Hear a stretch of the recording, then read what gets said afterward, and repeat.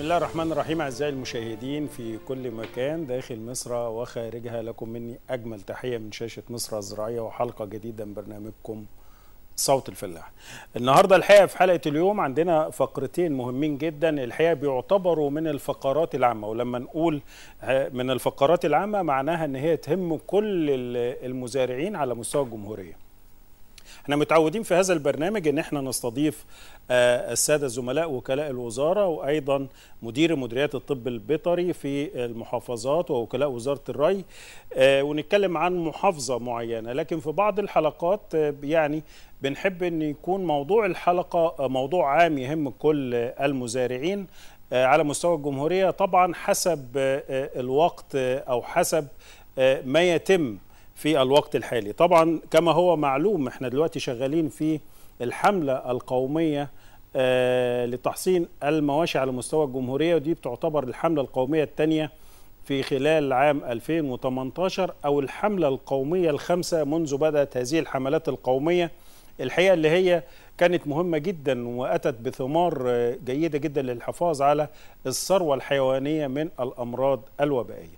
هنتكلم الحقيقة مع ضيفتنا في الفقرة الأولى عن الثروة الحيوانية بصفة عامة وعن دور الهيئة العامة للخدمات البيطرية الدور اللي بتقوم بيه وأيضا بصفة خاصة الطب الوقائي في هذا المجال. ونتكلم على الأمراض الوبائية اللي بتصيب الحيوانات ودور الهيئة في عمليات التحصين المختلفة وأيضا دورها في يعني في حالة حدوث أي مرض إزاي الهيئة أو مديرية الطب البيطري في المحافظة بتتحرك. الحقيقة وهننتظر استفسارات حضراتكم بخصوص هذا الموضوع في الفقرة الأولى من هذه الحلقة. في الفقرة الثانية هنتكلم أيضا على موضوع مهم جدا وهو موضوع التمور في مصر صناعة التمور وزراعة نخيل البلح في مصر. يعني المعوقات والتحديات والطموحات والآمال التي تنتظر هذه الزراعة والصناعة المهمة جدا الحقيقة اللي ممكن يعني يقوم عليها صناعات مختلفة لأن التمور بتعتبر أو التمر بيعتبر من المحاصيل التصديرية المهمة على مستوى الجمهورية. إحنا طبعا زي ما إحنا متعودين منتظرين تليفونات حضراتكم سواء كان في الفقرة الأولى أو الثانية للرد عليها على الهواء مباشرة. هنخرج دلوقتي فاصل قصير ونستقبل في الفقرة الأولى من هذه الحلقة ضيفتنا الدكتورة نجلاء رضوان مدير عام الطب الوقائي بالهيئة العامة للخدمات البيطرية بعد هذا الفاصل.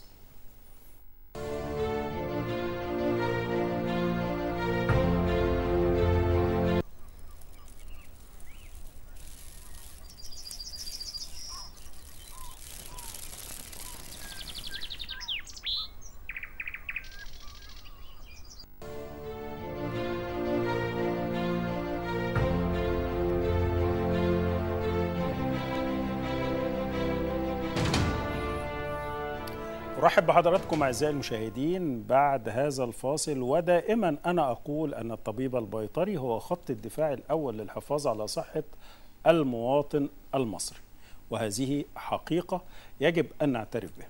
لذلك الحقيقة دور الطبيب البيطري مهم جدا سواء كان في الهيئة العامة للخدمات البيطرية أو في مديريات الطب البيطري في مختلف المحافظات لأهمية الدور اللي هم بيقوموا بيه للحقيقة للحفاظ على صحة المواطن المصري من ناحية الرقابة على اللحوم على الدواجن على المصنعات والاهتمام أيضا بما يدخل مصر خلال الحدود من لحوم أو دواجن أو خلافه.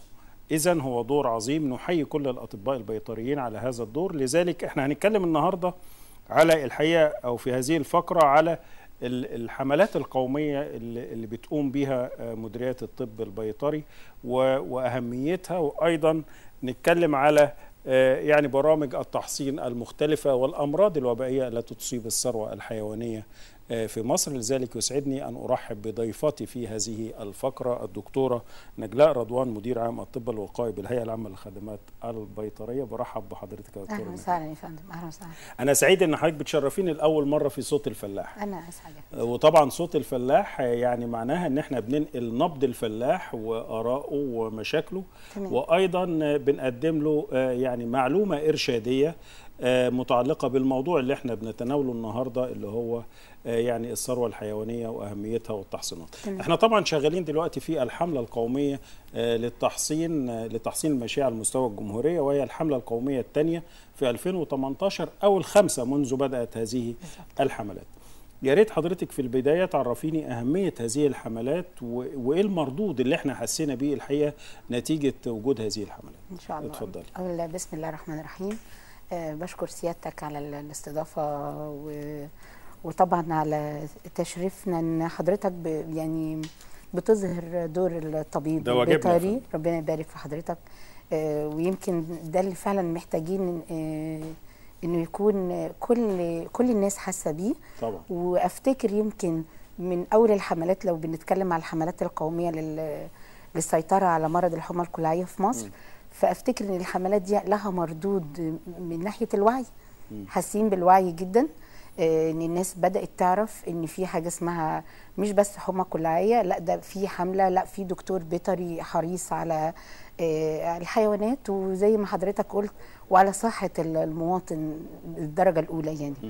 آه، يعني ممكن أقول الأول بيان صغير كده. إنه النهارده عدينا 17 يوم من بدء الحملة القومية عدينا كام؟ 17 يوم من يوم 15 17 يوم. 9 آه من الحملة القومية آه إحنا الحمد لله رب العالمين ودي وده ده حاجة كويسة جدا إن أنا وصلت لدرجة إن أنا آه، مليون و900 يعني تقريبا داخلة في 2 مليون وده بصراحة يعني آه، إعجاز رقم كويس؟ جدا الحملات جداً. اللي فاتت كان تقريبا؟ آه، إحنا كل مدى بنزيد يا فندم مم. كل مدى آه، في آه، آه، يعني في حاجة كده إحنا بنحسها من وعي المواطنين حتى لما بنوصل لل- للفلاح في في في العزبة والنجع والقرية.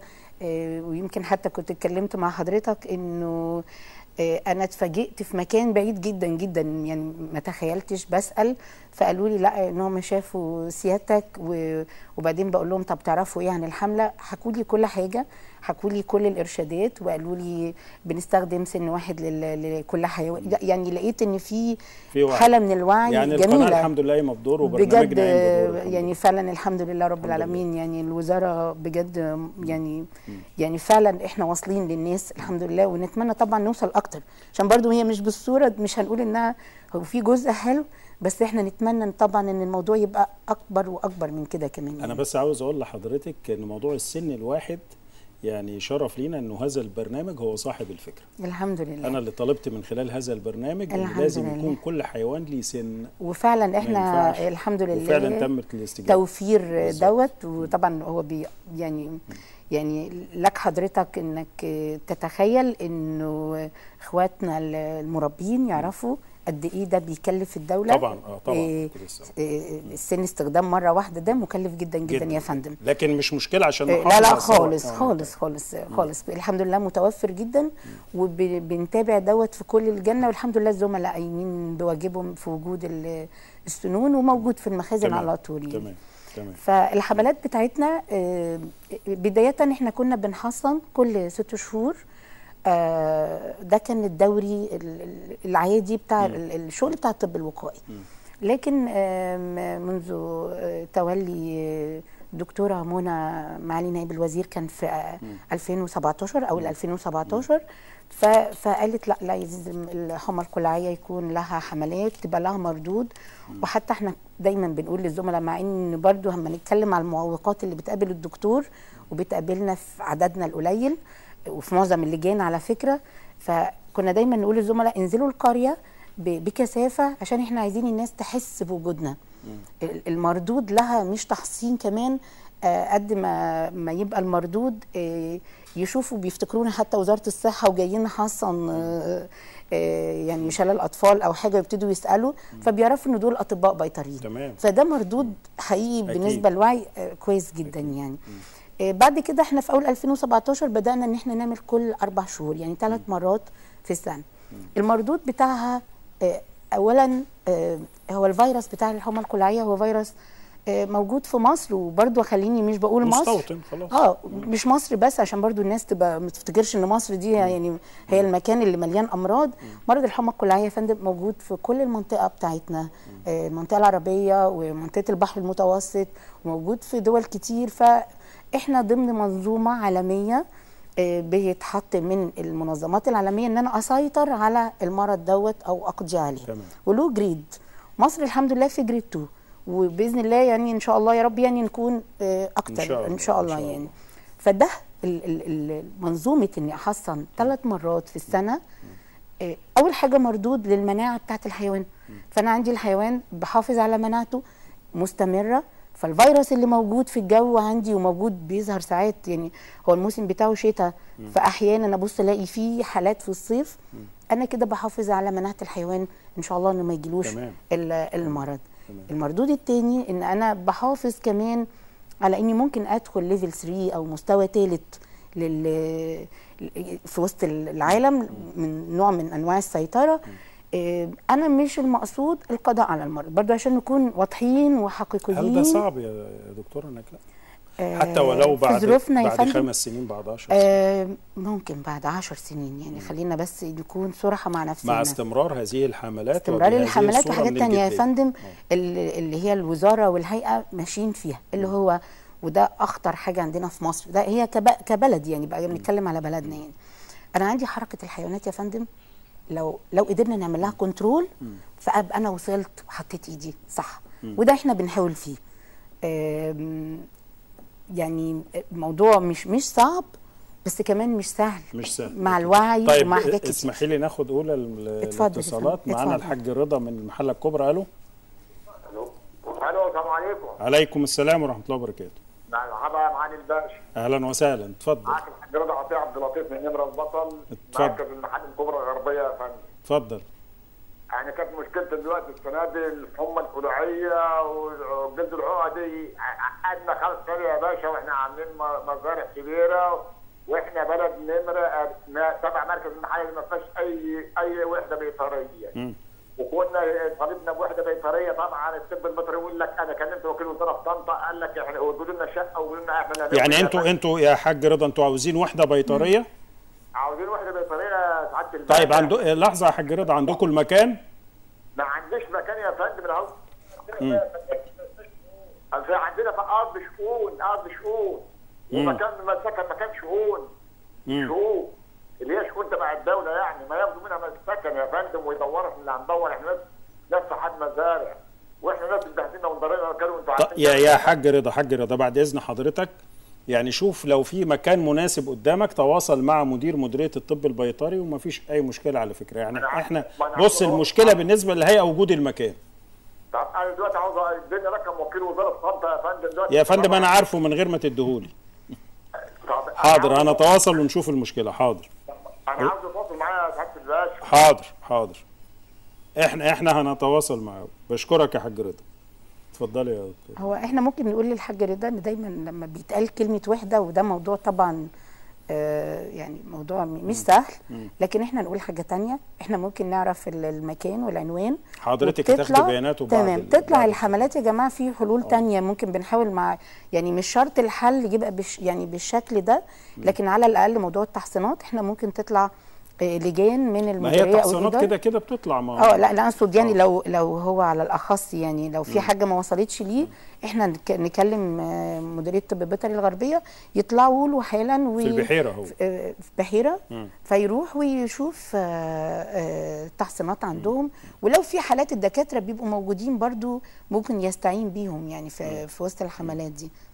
عارفة أنا نفسي يا دكتورة نجلاء يبقى في وحدات متنقلة. يا ريت والله يا فندم لا موجودة لا بقول يا ريت يا ريت آه يا تبقى ريت حاجة يعني كويسة برضو جدا هذه فكرة برضو اهو بنعرضها زي آه، ما حلوة. زي ما عرضنا قبل كده فكرة السنون السنون. وفعلا إن ريت. كل حيوان يبقى ليه سن وفعلا اتاخد بيها وده شيء رائع الحقيقة برضو يبقى في آه، وحدات متنقله ودي. فكرة برضو إحنا بنعرضها على الأستاذة الدكتورة منى محرز آه، نائب الوزير للانتاج الحيواني والدجيني والسمكي إنه في بعض القرى فعلا بعيدة وما عندهاش وحدات بيطرية وما فيش مكان يعملوا فيه وحدة ممكن تبقى الوحدات المتنقلة. تزور القرية دي كل يومين كل ثلاثة ويبقوا أهل القرية عارفين إن الوحده هتجيلهم في اليوم الفلاني بحيث لو يعني ده حل بديل وإحنا برضو يا فندم الجامعات.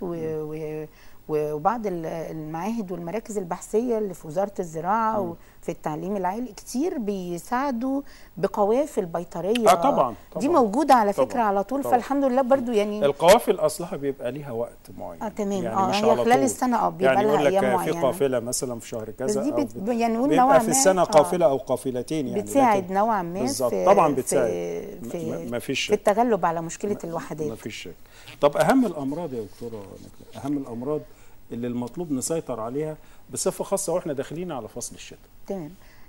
ال- بالنسبة لفصل الشتاء أنا أهم حاجة عندي الحمى القلاعية ده طبعا رقم واحد. وعندي مرض البستريلا اللي إحنا بنحصن له بلقاح اسمه Pneumobac. اللي هو التسمم الدموي. بس طبعا إحنا دلوقتي كان زمان البستريلا التسمم الدموي ده يا فندم عتره واحدة. لكن إحنا في Pneumobac ده بيستخدم كل عترات التسمم الدموي.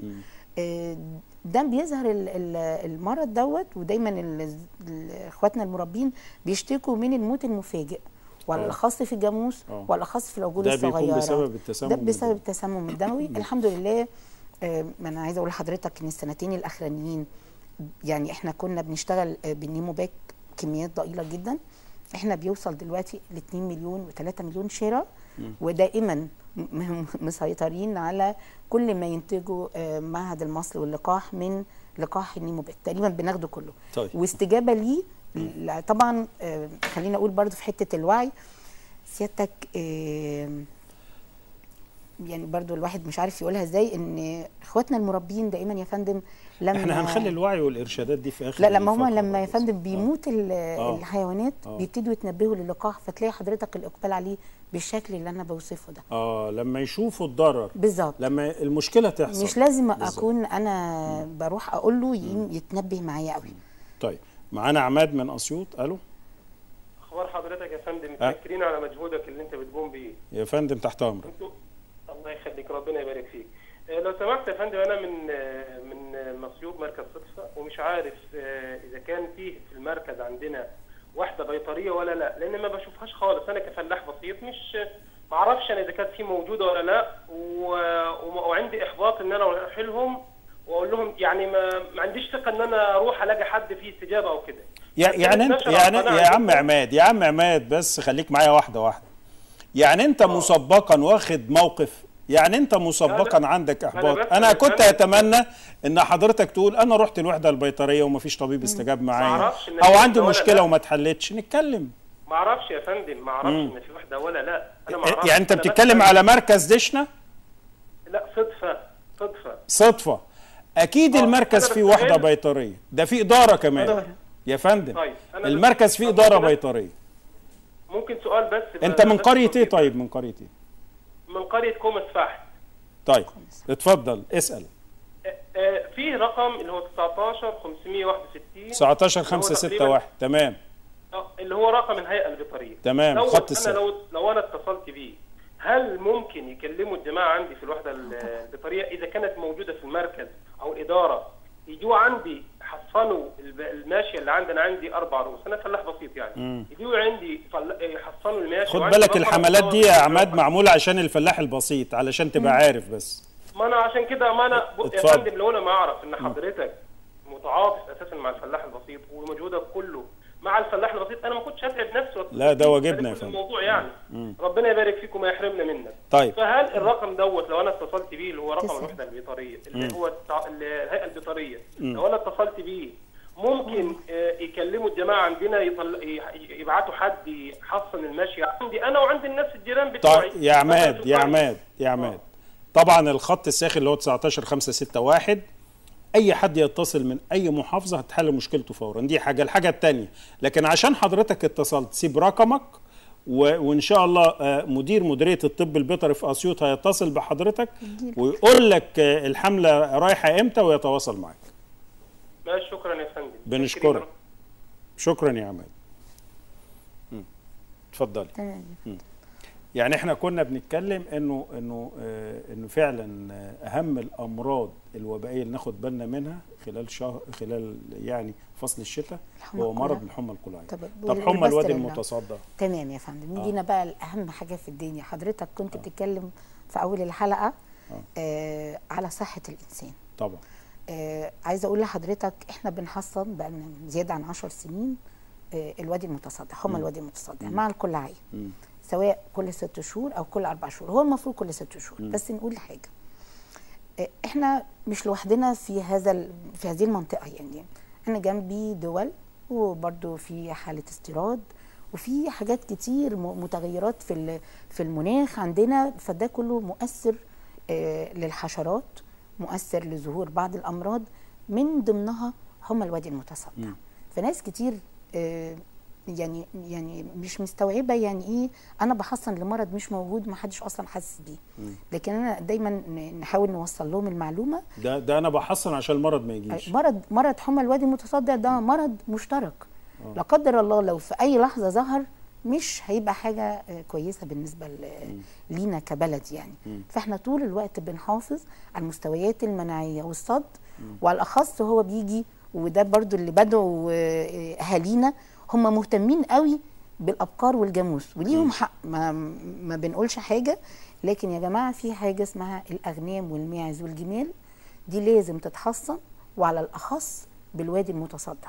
يعني آه طبعا الكلاعية ال- آه، الأغنام والماعز يعني هذا المرض يصيب أكتر أكتر أو الأغنام الأغنام والماعز والجمال. والجمال. أيوه بعدين يجي بقى بعد ده كده الابقار من والجاموس. الأمراض المشتركة؟ آه، مشترك طبعا. آه وبيصيب الإنسان. يصيب الإنسان ينتقل الإنسان إزاي؟ آه، يا فندم مجرد ما أصل هو بيبقى حالات إجهاض. آه. فخلاص مجرد ما بيحصل حضرتك عارف الإجهاض وفي بلادنا وفي الأرض وفي الكلام ده كله فخلاص عن طريق التنفس عن طريق ال- الفيروس. ينتقل عن طريق الهواء؟ طبعا وفيروس شديد مش قليل ولما بيصيب ممكن يعني آه، يصيب يعني دائما يصيب الأول الحيوان. يعني عمر المرض ده في بعض البلاد الأفريقية ظهر فيها يعني السنة اللي فاتت وكده. خلينا نتكلم على الظواهر بس يعني. آه يعني فيجي. هو غالبا أبقى مخلي بالي قوي من حيواناتي. لو حصل حالات اجهاض في الغنم والماعز كتير ولو لقيت ال- الأجنة اللي نازلة مشوهة لا أنا لازم أخلي بالي. لازم طيب أقول خلينا نستكمل النقطة دي. معانا الحاج سيد جمعة من الشرقية. ألو. السلام عليكم. عليكم السلام حاج سيد اتفضل ازيك يا دكتور؟ الحمد لله يا حبيبي اتفضل إحنا بنستاذنك يا دكتور بس الدكتورة يعني تشوف لنا حل في المنطقة بتاعتنا ديت. يعني حضرتك طرحت فكرة حلوة دلوقتي اللي هي بالنسبة للوحدة المتنقلة. إحنا عندنا المكان اولا يعني. عندكم المكان؟ عندنا المكان يا دكتور حامد. لا إن شاء الله ما دام المكان والمكان مناسب وملائم. يعني هي أرض فاضية. إنما المكان حضرتك عارف يعني واسع يعني محتاجين لأن المنطقة زي ما حضرتك عارف واسعة. أيوه عارف طبعا. وب- وبعدين يا دكتور أنا لما بتصل يعني حضرتك أنا الحمد لله متابع وبتصل على الهيئة وعلى الخط الساخن فلما بيجي ال- ال- اللجنة بتجي لي أنا لوحدي. فإحنا عاوزين مسح شامل للمنطقة عشان أنا بحصن الجار أو اللي ما عندوش ده ما بحصنش بيضرني أنا تاني. والله والله أنا بشكرك يا حاج سيد. ده برضو ده الحقيقة دور دور مهم حضرتك بتقوم بيه. ما هو يا ريت لما اللجنة تيجي يا حاج سيد. حضرتك برضو تقول لجيرانك والله يا دكتور بعت لهم ولفيت عليهم بس يعني زي ما حضرتك عارف هي موضوع جاي يقول لك انت الدكاترة العدوى بتيجي عن طريق ال ال ال- السرنجات بتاعتهم. الكلام اللي حضرتك يعني كان الأول ده. ما خلاص اتلغى. خايفة. فإنما والله بقيت أقول للناس كلها بس يعني الناس برضه خايفة. فالحمد لله الوضع يعني زي ما حضرتك الوقت شرحته آه، الوضع ما شاء الله يعني قاعد تمام فبس إحنا عاوزين برضه يبقى فيه يعني لما لجنه تنزل أو قافلة تنزل من الطب البيطري هتشرح للناس واقتنعوا منهم عن واحد زيي تمام تمام. فيا ريت يا دكتور يعني الدكتورة تشوف لنا حل لأن المنطقة والله بيننا وبين الوحدة أقرب وحدة يا دكتور حامد هي اسمها صالح البحرية آه. حوالي 30 كيلو أو أكتر. حاضر. حاضر يا حاج سيد. هم معذورين طبعا عشان ما يخلصوا للمنطقه اللي هم فيها ويجوا لنا برضه بتاخد وقت كبير يعني. حاضر. حاضر. إحنا الحقيقة برضو هن هنلح يا على. موضوع الوحدات البيطرية المتنقلة. المتنقلة ده إن شاء الله يكون له دور دكتور وللدكتوره حاضر. بشكرك. بشكرك يا. حاج سيد. بشكرك. طبعا واضح إن في وعي. يعني. الحاج سيد أهو يعني عارف و... و... و... وأنا الحقيقة سعيد إنه بيقول بتصل بالخ... بالخط الساخن وبيجوا الحمد لله. وبتيجي هو- الحملة. الحمد لله. إحنا على آه. قدر الإمكان بنحاول إن إحنا بنستجيب ليهم.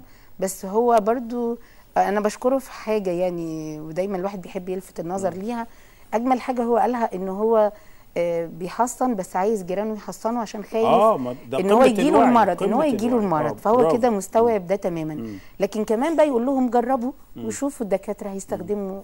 وإحنا حتى لما بننزل اللجان دايما في المتابعة بنقول لهم كده شو يعني شوف حقك أنت من أنا أنا حقك سن لكل أتمنى حيوان. كمان يا دكتورة نجلاء بعد إذن حضرتك يعني اتفضل. واحد زي الحاج سيد.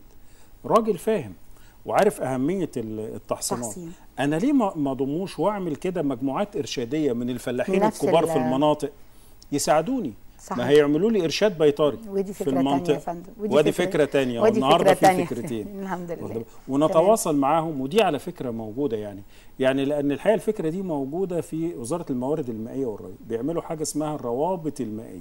تمام. بيبقى من المزارعين نفسهم بيحلوا مشاكل المزارعين بالتعاون مع مهندس الري وم- ومديريات ومديريات آه وكلاء. وزارة الري.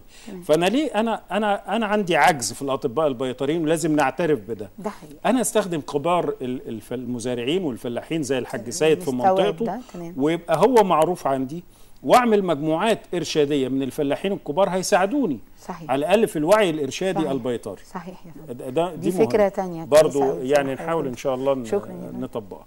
طيب حضرتك قلتي لي إن حمى الوادي المتصدع من الأمراض الخطيرة بس هو الحمد لله مش يعني مش, عندنا في مصر. مش عندنا في بقالنا مصر. سنين الحمد لله. هناخد بالنا الله مش يخليكم. يعني إحنا بنحصن علشان عشان نحفظ. نخلي بال- أيوة بالظبط،. نحافظ على نفسنا. لكن هو مش موجود علشان إحنا برضو في البلاد جنبنا في ممكن يكون بيتوجد فيها. ودائما وابدا المرض دوت لما بيجي عمره ما هيجي الإنسان إلا إذا كان جه الحيوان. و... ولما يجي الحيوان ده معناه إن إحنا ما خدناش بالنا. يا إما من التحصين ما غطيناش صح؟ بس الحمد لله لا لا التحصين الحمد لله زي الفل. مع حتى بنقول أربع شهور مش كمان عاوزين يا نعمل. استرس على حاجة لا لا لا مش موجودة الحمد لله لكن خالص خلينا الحمد نشتغل. لله. طيب. الحمد طيب. لله. طيب. وأنا كمان يا, يا, دكتورة نجلاء يعني خليني برضو وحضرتك طبعا وكل المشاهدين والمزارعين. يكونوا عارفين إن الحمد لله الحمى القلعية ما عادتش زي الأول. خالص يا فندم. يعني إحنا من أنا أذكر من أربع سنين كنا بنتكلم على حيوانات نافقه في صحيح. السويس وفي الإسماعيلية وفي صحيح. الشرقية واعداد كبيرة. والجرايد تصور ما تنسوش خدوا بالكم ما تنسوش الكلام ده علشان نبقى عارفين أه- الأهمية الكبيرة اللي بتقوم بها وزارة الزراعة والهيئة العامة للخدمات البيطرية وزملائنا الأطباء البيطريين في. مختلف المحافظات دلوقتي الحمد لله الظاهرة دي مش موجودة. لا خالص تمام. خالص يا فندم. وحالات الموت برضو المفاجئ اللي ممكن كانت تحصل بسبب الباستريلا. آه، مش لأن إحنا بنحصنه. تمام. تمام. دلوقتي من الحمد لله رب العالمين. تمام. طيب عاوز نتكلم بقى على التحصينات. إمتى الحملة تروح والمزارع خرج الحيوانات بتاعته؟ وأنا كحملة هقول له لا أنا مش هينفع أحصن الحيوان ده لكن هحصن دول كده. تمام. ليه؟ اولا يا فندم أنا عشان ما هي موانع التحصين؟ ما أنا هقول لحضرتك تمام. آه هو أنا عشان آه، احصن الحيوان المفروض إن هو يكون صحيا أو ظاهريا طبعا سليم. اللجان بتاعتنا بتبقى معاها ترمومتر يا فندم. لو حصل اشتباه إن في حيوان سخن لا قدر الله فهو مش بيحصن يعني يبقى الحيوان اللي درجة حرارته مرتفعة ما يتحصنش. ما يتحصنش. تمام. لأن أنا كده هو في فترة حضانة المرض آه، يعني الله أعلم بيه طبعا فأنا بعزله. ودي بقى حاجات تانية كمان بتبقى واجب على إخواتنا المربين إن هم يخلوا بالهم منها. لما يكون حيوان تعبان أنت أصلا ما تخرجوش. ويفضل كمان تعزله لو عندك حيوانات في نفس إيه الزريبة يعني تبعده. أو نبتدي نشوف طبعا الدكتور. بس أول حاجة أعزله عن الحيوانات المخالطة السليمة عشان ما هنشرش المرض تاني حاجة يستحسن ما طلعوش بره. حضرتك آه، في كورونا الحيوان بيخرج لا مثلا بيبقوا عاملين له آه، أماكن للشرب كده في الطريق. ودي خطيرة جدا يا فندم. وهو ماشي الحيوان الله لا يقدر لو حمى قلعيه أو أي مرض. وهو ماشي بيشرب من المية والحيوانات التانية تعدي. أنا بنشر مرض. لا لا لا لا ده النقطة دي بعد يا إذنك. فندم شفناها على آه، فكرة دي نقطة في جدا. في في بعض القرى فدي مهمة جدا. إن أنا يا جماعة الحيوان المريض زي الحاج سيد ما بيقول. إحنا الحقيقة معانا على الشاشة برضو يعني ال- ال material الخاص بالتحصين وفرق التحصين اللي اللي شغالة. آه، آه، الكيس الأسود شايف يا فندم؟ آه، الكيس آه. الأسود آه. عشان اللقاح عشان إحنا بنقول لكل الفلاحين يخلوا بالهم. خلي بالك استخدم السن. ال- اللقاح بيبقى في كيس أسود. كل الحاجات دي يعني معناها إن إحنا بنحافظ على حيواناتك بنحافظ على اللقاح اللي. بنديهولك. أكيد. طب معانا وليد من البحيرة. ألو؟ أيوه السلام عليكم عليكم السلام ورحمة الله وبركاته. أيوه ازيك يا دكتور؟ أهلا وسهلا. لو سمحت يا دكتور والله يعني يمكن أنا كلمت حضرتك قبل كده في الموضوع ده. ال- الوحدة عندنا ما جاش فيها التحصين لحد النهارده. يا أخي أنا والله. وأنا والله انأذيت بسبب الموضوع ده وبهايم بحالها تعبي. ماشي؟ فما علينا أنا عليك تبهيم وبعليك بهيم وخلاص. في عندنا بقى مشكلة تانية يعني عايزة إيه حضرتك تاخد بالك منها. مم. لما بتكلم مع الناس هنا يا جماعة التحصينات وكده أكتر الناس بتقول أنا مش محصن مم. فيا ريت الموضوع ده يبقى إجباري لأن هو ممكن أنا احصن وجاري ما يحصنش ما خلاص يا وليد. في الحملة دي ما فيش حاجة اسمها مش هيحصن لا لازم هيحصن. مش محصن بالدكتور لا هيتعمل له محضر وبتاع وكده وفي وفي إجراءات وبالنسبة طب أنت. قلت لي أنت اتصلت فعلا قبل كده وأنا قلت لك اتصل بمديرية الطب البيطري تعرف الحملة هتجي لك. إمتى اتصلت يا باشا. قالوا لك إيه؟ قالوا لي حاضر في خلال ثلاث أربع أيام الكلام أصل هي الحملة. خد بالك إحنا. لسه مستمرين. يعني يعني مش مش مطلوب إن النهارده الحملة تكون وصلت لكل المزارعين على مستوى الجمهورية. طب ما المشكلة إن ال- ال- المرض نفسه نزل. يعني المرض نفسه لا أنا عندي لا طيب. يا وليد يا أخ وليد مش إحنا عاملين خط ساخن؟ ليه ما اتصلتش؟ بلغت اتصلت يا باشا. اتصلت بالخط الساخن؟ اتصلت والله اتصلت بيهم وردت عليا واحدة من عندهم دي دكتورة يا. فندم. آه وردت عليا بالشكوى وقلت له شكوى حضرتك إيه؟ قلت لها شكوى حضرتك بتقول كذا كذا كذا كذا كذا. وعايزين تلحقونا قبل ال... قبل ما ننضروا زي السنة اللي فاتت المهم بعدين وبعدين قالت لي في خلال ثلاث أيام هتكون التحصيلة موجودة في الوحدة، الوحدة بتاعتك تكون فين وانت في المكان الفلاني كذا كذا كذا كذا. مم. الكلام ده بقى له النهارده حوالي 11 يوم أو 10 أيام. طيب سيب بياناتك يا وليد سيب بياناتك والدكتوره نجلاء هتاخد بياناتك حاضر وبكرة إن شاء الله هتلاقي حد يتواصل معاك. بشكرك. شكرا يا وليد. نرجع تاني. إحنا آه، كنا حضرتك قلتي نقطة مهمة قوي ودي الحقيقة نقطة إرشادية. برضو أنا بصراحة أول مرة بسمعها إنه ودي عادة. كل الفلاحين بيعملوا كده. الحيوان بيبقى ماشي يشرب من مكان معين والحيوانات التانية تشرب من نفس المكان وهكذا. وهي المواشي في طريقها للغيط أو وهي راجعة من الغيط. بالظبط. آه. حضرتك ده ممكن ينقل لي مرض ف- إيه؟ ده أبسط حاجة. كلها هي يا فندم اللعاب اللي نازل دوت نازل في الأرض. ده خليني بقى مش المية كمان نازل في الأرض. حضرتك عن طريق الهواء مجرد ما بينشف نشر الدنيا كلها في قرية بحالها. إحنا دي بنخلي نقطة. بالنا يبقى المفروض قوي. الفلاح ياخد باله طبعاً. المكان اللي بيسقي بيسقي منه المواشي بتاعته يبقى مكان معروف يبقى مكان خاص بيه. آه خاص بيه خلينا نقول خاص مش بيه. آه مش مش آه وأبسط حاجة التانية بقى هو عمر الحيوان ما هيوصل للمرحلة إن يبقى فيه آه، اللي في هو بالظبط. المخاط اللي آه. نازل بشكل شكل زي ما يكون الحبل كده وده باين جدا معروف، إحنا هم. عارفينه آه. كلهم أهالينا يعني فعمره ما هيبقى كده يا فندم إلا إذا كان الحيوان سخن طيب. هو تعبان. هنستكمل النقطة دي لكن أعزائي المشاهدين بعد هذا الفاصل فانتظرونا.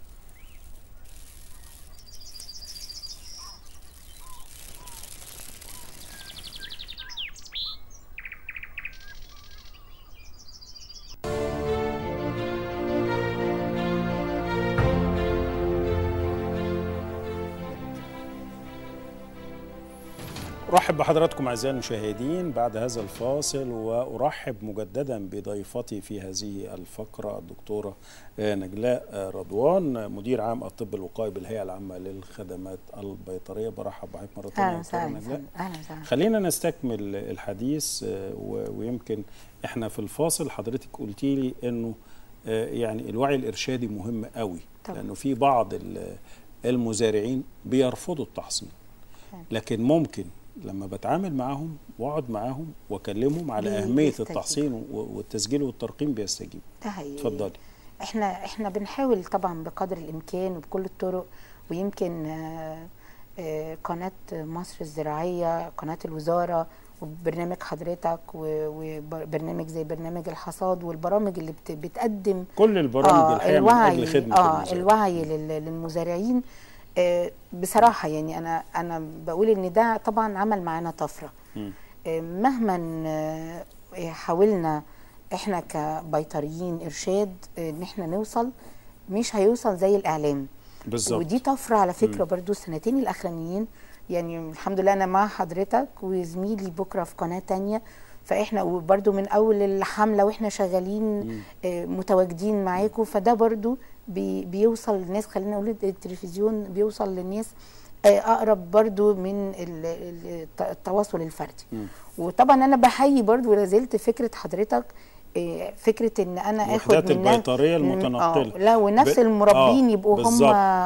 ده دي يعملوا وعي إرشادي لأنه ده. حلو جدا. هم أقرب آه، لل- لبعض. خلينا نعمل على تنفيذ هذه الفكرة. آه، هم أقرب لبعض بالظبط. مننا دي حقيقة. وعلى فكرة ممكن يكونوا مقنعين أكتر. بالظبط. آه، يعني مهما إن الدكتور بعض الزملاء في الكورة مش بيبقى من نفس البلد. يعني هو دايما بنحاول إن بيكون الوحدة الدكتور اللي فيها من نفس البلد وده بيسهل له على فكرة كتير. طبعا لأن. عارف أهل القرية.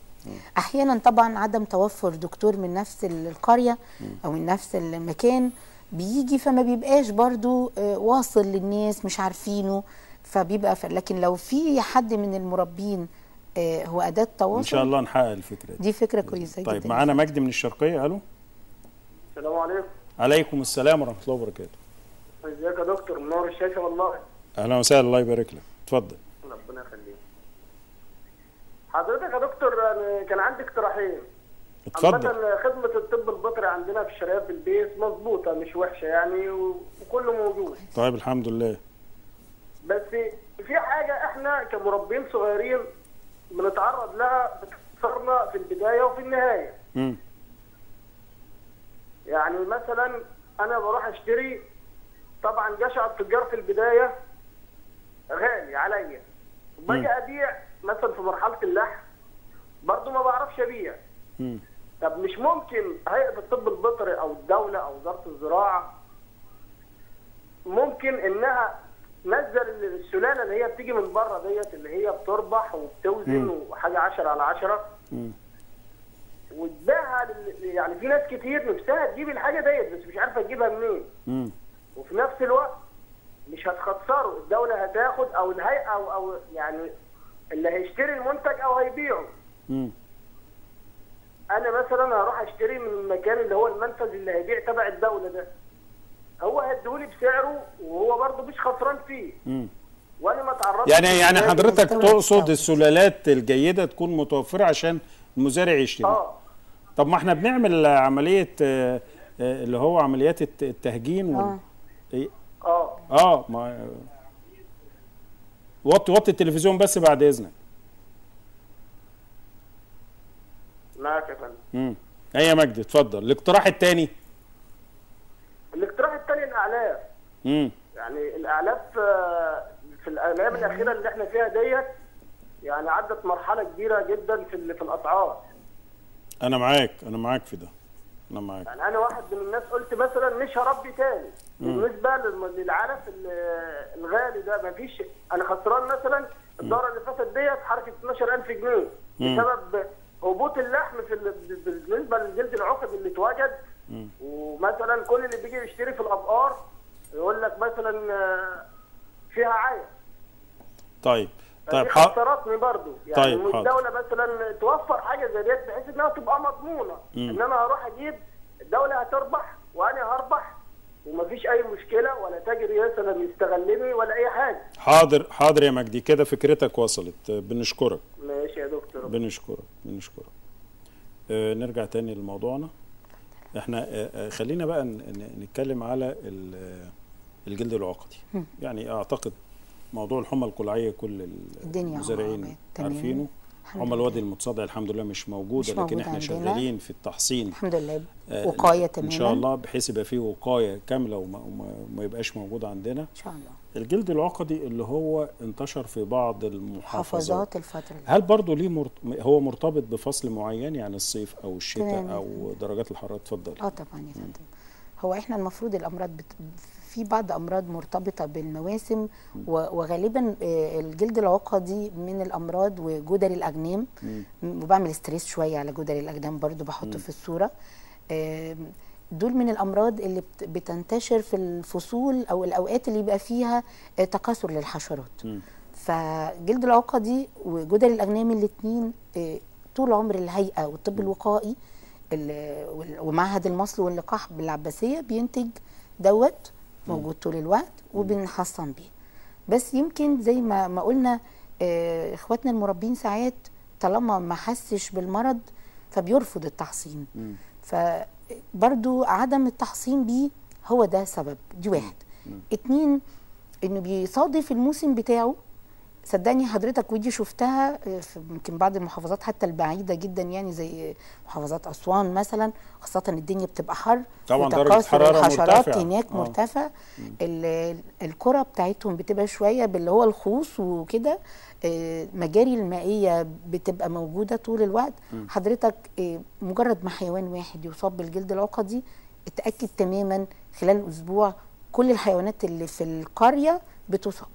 فاحنا يعني خلينا إيه الوقاية خير من العلاج أكيد. أركز مع نفسي وأحصن آه، حيواناتي جدل الغنم برضو مش ناس كتير تعرفه لكن صادفني كتير في, في الواحد وهو بيتحرك في وسط بالذات الغنامين. أقول له تعرف بتحصن أتفاجئ إنه بيحصن جدري الغنم. عارف حضرتك ليه يا فندم؟ جيرانه حد منهم جاله جدري الأغنام حصل نفوق فبدأ يركز فبقوا حريصين. حريصين كلهم تمام. والله اتقال لي كده من ثلاث سنين ومن ساعتها وإحنا بنحصن يمكن ناس كتير على فكرة برضو جدر الأغنام مش من في- بيجي للغنم وبيسبب طبعا خسائر وإحنا حريصين إن ما حدش يخسر و- واللقاح بسيط إن أنا أحصن بيه مرة كل تسع شهور ما افتكرش إنها طبعاً، بالنسبة لنا أي مش فيها, مكلفة. فيها أي مشكلة طيب يعني. معانا طه من الشرقية. ألو؟ ألو السلام عليكم. عليكم السلام ورحمة الله وبركاته. إزيك يا دكتور؟ أهلا وسهلا. حضرتك كنت عايز أقول للدكتورة أنا عندي فحله جاموس. ال- العينيها فيها زرقان جامد يعني عينيها زرقت خالص. الأول كانت مقفلة امم بعد كده فتحت بزرقان رهيب. امم وكان عندها نسبة سخونة. امم وعندي فحلة تاني بتسهل مباشر. يعني رحت جبت لها الدكتور بدل مرة اتنين وتلاتة وعندها إسهال شغال على طول مستمر وإسهال يعني إيه؟ يعني ريحته وحشة. تمام. بس هو ده اللي حضرتك طيب خليك معايا. ورحت لل... ورحت للوحدة. أيوه. إحنا تبع تبع الشرقية تبع بالبيت تبع قرية السلام الوحدة اللي في قرية السلام. امم رحت للوحدة هناك فبقول عايز حد يجي يديني اللقاح بتاع الحمى الكراعيه وكده. قال لك لا انت تاخده وانت تديه انت من عندك. يعني انت تديه له لا ما فيش الكلام ده يا حاج طه. أنا رحت يا فندم هو ده اللي حصل. طيب سيب بياناتك سيب سيب تليفونك. سيب سيب تليفونك وبياناتك وهيتواصلوا معاك إن شاء الله. بشكرك حاج طه. هل أنا ممكن يا دكتورة نجلاء من خلال مثلا أعراض بيقولها مزارع أقدر أقول له أنت عندك كذا ولا لازم الطبيب يكون متواجد ويكشف على الحالة؟ ده يا فندم لازم الطبيب يكون متواجد. طبعا حضرتك هو بيقول أنا ممكن دماغي تروح لبعض الاشتباه ببعض أمراض لكن لازم أكون متواجد. وغالبا كمان حضرتك في معظم الحالات إحنا كبشر يعني ما فيش دكتور دلوقتي بي بيدي تشخيص لحضرتك إلا لما يقول حل الحاجات اللي أنا عايزة أشتبه فيها. فيبقى لازم آخد عينات يعني حالة الإسهال دي أنا لازم يتاخد منها عينات الحيوان التاني برضو. يمكن أنا دماغي راحت لحاجة معينة. آه لازم يتاخد عينات وتتفحص وبالتالي طب إيه الإجراء اللي أنا أعمله؟ يعني أنا خدت. عينة يعني أنا مش مش هنتظر. لما نتيجة التحليل تطلع. يعني لو في سخونية مثلا آه. ببتدي أعالج symptomatic. هو بيقول في أعراض. سخونية وفي زرقان. في العين. بدي حاجات اللي هي تعالج الأعراض. و يا فندم هو كان المفروض طبعا اللي أنا فهمته إنه بلغ الوحدة. المفروض طالما بيبقى في بلاغ للوحدة وده اللي إحنا عايزين نأكد عليه مع اخواتنا. طبعا طبعا. زمايلي لازم يتحركوا لأن هو بلغ. ودايما بقى بنركز مع اخواتنا المربين يا جماعة الإبلاغ عن أي حالة اشتباه إيه- إيه- بلغ وقول ان إن إيه الموجود. نقول بقى يا فندم تاني الخط الساخن. علشان لما الوحدة ما تستجبش. وهو ده الهدف من إنشاء الخط الساخن لو الوحدة ما حصلش استجابة يا جماعة إحنا موجودين. وبرده هنوصل الصوت وبإذن الله اللجنة الخط الساخن هنقوله مرة تانية 19 5 6 1 يعني نحفظه حتى كلنا. بالظبط. سهل. 19 5 6 1 يا ريتوا الزملاء ينزلوه على الشاشة عشان يبقى كل المزارعين معاهم هذا الرقم آه، الحقيقة على مستوى الجمهورية. طبعا الخط الساخن الحمد لله فعال. اللي بيرد على الخط الساخن. طبيب أو طبيبة الخط الخط الساخن نزل دلوقتي على الشاشة يعني بيرد عليك طبيب أو طبيبة علشان يقدر يتواصل معاك ويعرف المشكلة اللي عندك عبارة عن إيه ويوجه آه، الطبيب آه، الصح لحضرتك. طيب معانا خالد من البحيرة. ألو؟ السلام عليكم. عليكم السلام ورحمة الله وبركاته. ازيك يا دكتور حامد؟ أهلا وسهلا بحضرتك. يا مرحبا. بالنسبة للتطعيم بتاع ال- الحمى القلاعيه اللجنة كانت موجودة عندنا في القرية من أربع أيام وطعمت لنا والموضوع تمام التمام بس إحنا السنة اللي فاتت اتبهدلنا في الجلد العقدي جامد. والأول مرة إنه ينتشر جامد كده وهم اللي محصلوا برضه واللي اتحصل واللي ما اتحصلش جاهلوا. والناس اتبهدلت جامد يا دكتور فإحنا عايزين نركز شوية على الجلد العقدي هو هو كان بيجي بسيط قبل كده بس السنة اللي فاتت دي بهدلنا جامد والله. لا إن شاء الله ما أنا عارف هو السنة اللي فاتت كان كان عمل مشاكل. كانت آه. جامد يا دكتور. إنما اللجنة مذكوره كانت عندنا من ثلاث أيام جت آه، طعمت لنا المواشي اللجنة مست مرت على البيوت وعملت اللازم بس إيه رأيك يعني؟ لا والله تمام. هو كده بقاله سنتين آه، إحنا ماشيين. مظبوط معاه. الحمد لله. طيب تمام. وبعدين أنا صديق دايما البرنامج يا دكتور حامد معاك على طول دايما. تشرف. الله يكرمك يا دكتور. الله يا. حاج خالد بشكرك. أنا برضو عاوز أقول نقطة وطبعا الدكتورة نجلاء أعتقد تتفق معايا فيها. ليس معنى التحصين هو حماية الحيوان بنسبة 100% طبعا. دي لازم طبعاً ناخد. بالنا منها. لكن علشان بقدر الإمكان وبنسبة كبيرة نحمي حيواناتنا من هذه الأمراض. صح يا دكتورة صح؟ يا فندم. آه. وهحط بقى ل- لإخواتي كده بعض الحاجات عشان خلينا أنجح ندخل التحصين. بقى ندخل بقى آه في ال- عايزة يعني أنجح التحصين.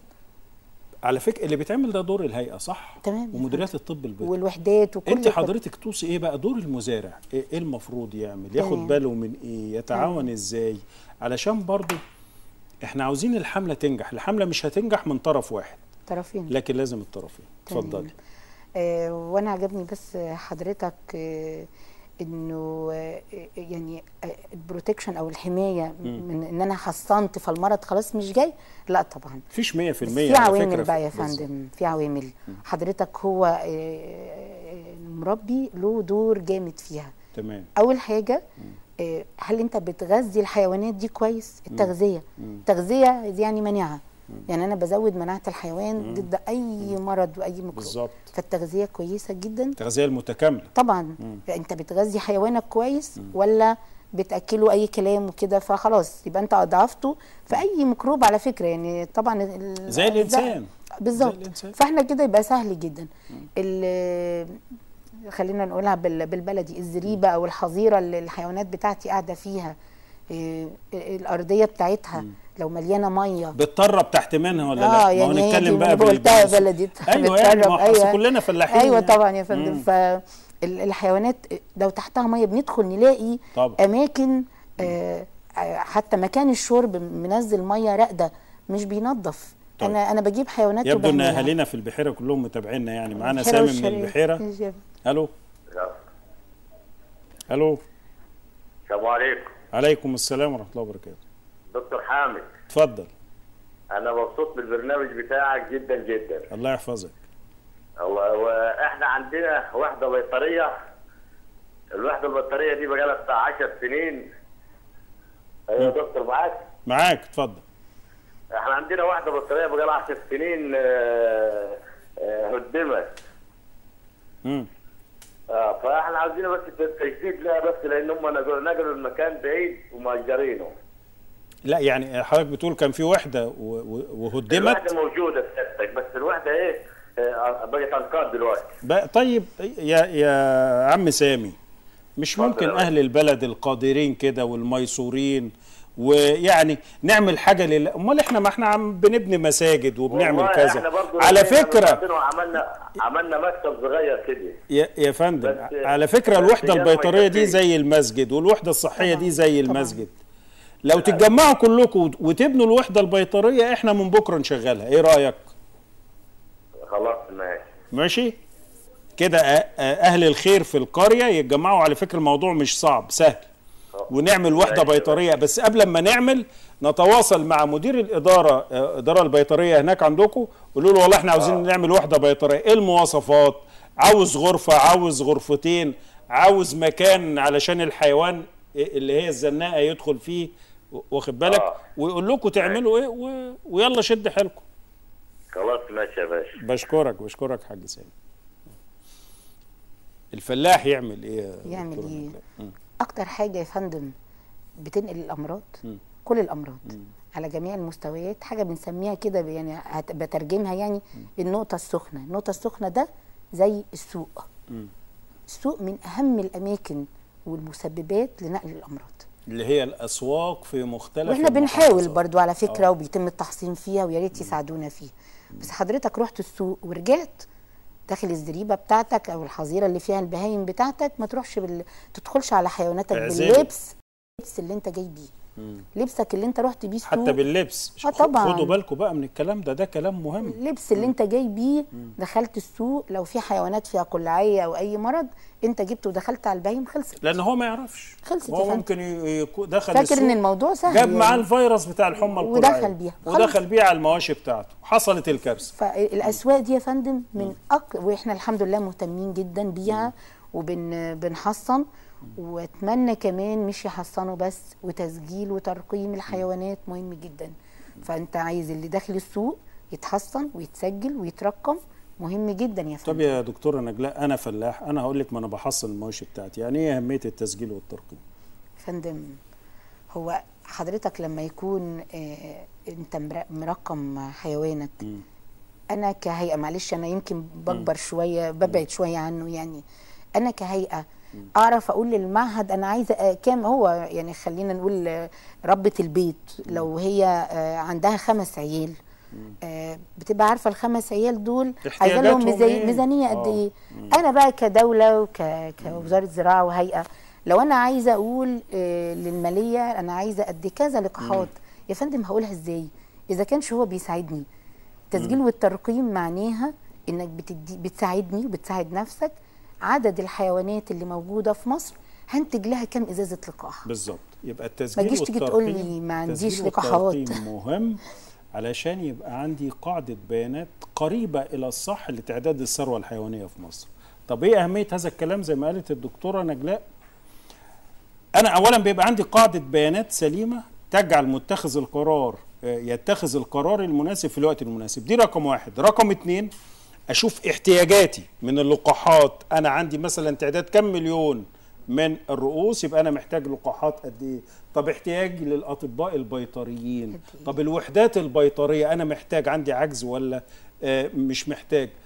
ده مهم جدا. يبقى التسجيل علاوة على إنه أنا بيبقى معايا بطاقة فيها التاريخ المرضي للحيوان. صح. ودي مهمة قوي. طبعا. طيب معانا الحاج بنداري من الشرقية. السلام عليكم. عليكم السلام ورحمة الله وبركاته. ازيك يا دكتور حاب أهلا وسهلا بحضرتك. كل عام وأنتم طيبين يا باشا. وحضرتك بصحة وسلامة. اتفضل.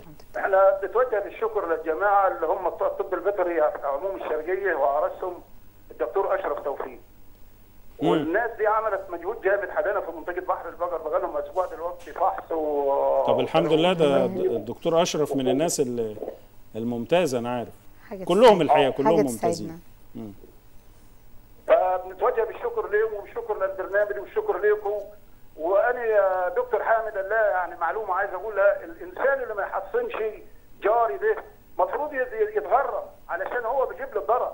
امم برافو يعني برافو يا حاج. بنداري امم يعني المفروض ال- ال- المنطقة بتاعت المواشي كلها تنحصر عن طريق الجمعية. واللي رقم واللي حصن ماشي واللي ما حصنش ورقم ده المفروض يتغرم علشان بيجيب له الوباء هو. طب يا حاج بنداري إحنا بص إحنا عرضنا فكرة النهارده في البرنامج في البرنامج إن إحنا عاوزين نعمل فرق إرشادية منكم يعني واحد زي حضرتك واحد زي الحاج سيد جمعة برضو اللي اتصل من الشرقية. آه، كل واحد في يعني كم واحد كده من مركز من قرية. أنتوا آه، تبقوا يعني فرق إرشادية للطب البيطري. إيه رأيك؟ يا فندم أنا يا دكتور أنا دلوقتي بلف على الناس كلها يبقى معاهم. برافو عليك برافو. ده شيء ده شيء جميل. طيب. فيها ناس بقى إيه يقول لك ده ببلاش ببلاش إزاي؟ وأنت ما تصرف على الجاموسه 20 جنيه على مال بتاع 30 40 ألف جنيه تصرف عليه 20 جنيه. برافو عليك برافو عليك. برافو ده, ده عليك. مش ده مش إحنا كنا لسه. هنتكلم في النقطة دي. مم. المفروض يتغرم يا يا دكتور ما. ما هو خد بالك يا حاج بنداري أصلا اللي بيدفعه الفلاح ده مش هو ثمن التحصين على الإطلاق ده مبلغ رمزي. هو ده هو ده مبلغ هو ده مبلغ يا دكتور ده ده- ده ولا ضرب الحقنه بتاعت الدكتور امم تمام تمام. أنا أنا بشكرك جدا. الناس بقى من ال- ال- ال- التخلف- التخلفات بتاعت زمان دي وتبدأ تشتغل. تحفظ قيمتها. تمام تمام. وبعدين اللي ما بيحصنش ده بيجيب الوباء ليا أنا صحيح. برافو. هو داري ده كلام مظبوط ده كلام مظبوط. وتعبت والله في الميكروفون النهارده يعني طول النهار؟ عمالين يذيعوا عربيات وبتاع. وبرضه يعني ربع ثلاث أرباع استجابوا الربع برضه مش مستجاب. معلش بس الاستجابة دلوقتي أحسن من الأول يا حاج بنداري. مرة برافو عليك. أنا بشكرك مرة- أنا بشكرك. جدا يا حاج بنداري وبحييك أنت والحاج سيد جمعة المزارعين المحترمين اللي هم فاهمين فعلا مصلحتهم ومصلحة البلد يعني يا ريت حضرتك تاخدي تليفونات الناس دي طبعاً. ونتواصل معاهم ونعمل نعمل- بقى نبتدي نعمل نواة نواهي جديدة. لفرق إرشادية من الله. كبار المزارعين في. المناطق المختلفة وممكن كتير. لما يعني نشوف الفكرة حتى نقعد مع سيادة اللواء الدكتور إبراهيم وطبعا الدكتوره منى محرز ونشوف طبعاً. إزاي الفكرة يتم تنفيذها وإحنا نتكلم عليها في قناة مصر الزراعية وفي البرنامج تمام. هنا ننوه ليها بحيث أي حد يا فندم. نعمل نموذج ونشوف النموذج وإحنا ندربهم ويبقى هم مدربين أو. مرشدين للمزارعين للمزارعين فكرة جميلة بصراحة تمام طيب خليني أقول لحضرتك حاجة انه إنه الحيوان أحس... أح... يعني أثناء التحصين بي... بي... بيحصل له رد فعل صح. ولا لا؟ إيه آه. رد الفعل اللي ممكن يحصل للحيوان؟ بص يا فندم هو طبعا آه، أنا عايزة أقول ان ممكن رد الفعل ده دليل على إن ال- الجرعة اتاخدت صح. وإن في نجاح للتحصين مم. واحيانا آه، ممكن في علامات صغيرة ممكن تظهر مكان الحقن فده دليل إن الجرعة اتاخدت تمام التمام. لكن آه، مش كل الحيوانات هيبقى لها رد فعل يعني ده بيبقى بيتفاوت زي ما قلت كده آه، الحيوان مناعته كويسة التغذية بتاعته كويسة المكان البيئة اللي قاعد فيها حلو. كل ده آه، حاجات مؤثرات على التحصين. أحيانا بيبقى في رد فعل ممكن حساسية وده وارد مش مش بنقول إنه مش وارد دي حاجة صحية. على فكرة آه مش طبعا فده وارد ما نخافش خلينا نشبهها. زي رد الفعل اللي بيحصل عند الطفل لما لما بيتحصن الأطفال أو الحصبة تلاقي. نلاقي الطفل يسخن آه، شوية بالظبط بالظبط ويهمد شوية لكن بالظبط بالظبط وعلى فكرة أنا شفت آه يعني أم لينا من الفلاحات والله من أسبوعين كانت بتقول لي الجملة دي وعجبتني جدا إنها بتقول إن الحيوان لما بيسخن شوية عندها بتعرف إن التحصين سليم. تمام. بس طبعا يعني مش بنقول إنه يسخن يعني مرضان. يعني لا شوية حرارة مم. خفيفة فده بيبقى برضو بعض ردود الأفعال. فما نقلقش من التحصين يا جماعة ده ده شيء كويس يعني. مم. مم. طيب آه، حابة تقولي إيه م- للمزارع؟ كحاجة إرشادية بقى في نهاية هذه آه، الفقرة. حاجة إرشادية أقول له آه، الدكتور البيطري يعني أرجو إن أنت تخلي بالك وتسمع كل الإرشادات اللي بيقول عليها. آه، لو في أي آه، شايف أي حاجة على الحيوان بتاعك آه، آه، غريبة مش طبيعية زي الطفل كده دايما بنشبه برضو بالطفل لو آه، الطفل آه، اتغير في طباعه أو في أي حاجة ببتدي أعرف إن هو تعبان فأرجوك اوصل للوحدة البيطرية لو ما فيش الوحدة البيطرية كلمنا على الخط الساخن. الإبلاغ على الأمراض يا جماعة ده شيء مهم جدا جدا لينا لأن أنا لما بتبلغ في الأول أنا بقدر أوصل لك بنقذ الحيوان وبنقذ ال- القرية وبنقذ البلد كلها من إن ممكن يحصل آه، أي حاجة تضرنا كلنا يعني فأنا بقول له خلي بالك من الحيوان خلي بالك من تغذيته خلي بالك من الجو المحيط بيه آه، لو رحت السوق آه، يعني بحاول أجمل الدنيا آه نقطة السوق دي مهمة السوق دي. مهمة جدا أوي. آه. آه وهي عادة يا يا- دكتورة هي اللي بتعمل لنا المشاكل كل الحقيقة. المشاكل يا فندم أنا آه. عايزة أقول لحضرتك كل تقارير بلاغات الأمراض اللي بنيجي نشوفها معظمها إنه الحيوانات جت من السوق. فعيت يا إما حيوان جاي من السوق وعيان يا إما الحيوانات جت من السوق فعيت الحيوانات اللي عنده. فيخلي باله قوي من من. النقطة ديت يعني. تمام. يعني أعتقد إن إحنا قدمنا فقرة مهمة جدا. تعرفنا. فيها على دور الهيئه العامه للخدمات البيطرية وأهمية ال- الحملات القومية للتحصين على مستوى الجمهورية. بالإضافة طبعا المفروض المزارع يعمل معانا إيه علشان تنجح هذه الحملات. كل اللي بتعمله وزارة الزراعة كل اللي بتعمله الهيئه العامة للخدمات البيطرية هو من أجلك أنت من أجل الفلاح للحفاظ على الثروة الحيوانية للفلاح وأيضا للحفاظ على الثروة الحيوانية لمصر. أقول مرة تانية أنه الطبيب البيطري هو خط الدفاع الأول للحفاظ على صحة المواطن المصري. كل التحية والتقدير والاحترام لكل الأطباء البيطريين الحقيقة على مستوى الجمهورية لأن أنا متأكد وعارف تماما أن هم بيقوموا بجهد كبير جدا وبعمل جبار آه، الحقيقة مش هنقدر نكافئهم عليه لكن آه، يعني آه، جزائهم عند ربنا سبحانه وتعالى لأنه مهما نكافئهم مش هنقدر نديهم حقهم مقابل هذا المجهود والعمل العظيم اللي هم بيقوموا بيه على مستوى الجمهورية. في نهاية هذه الفقرة أعزائي المشاهدين لا يسعني الا أن نتقدم بجزيل الشكر للدكتوره نجلاء رضوان مدير عام الطب الوقائي بالهيئة العامة للخدمات البيطرية بشكرك بشكر جدا يا سيادتك دكتورة يا نجلاء. بشكر سيادتك. من الثروة الحيوانية إلى زراعة النخيل وتمور وأهمية هذه الصناعة في مصر في الفقرة الثانية من هذه الحلقة وبعد هذا الفصل شكرا يا فندم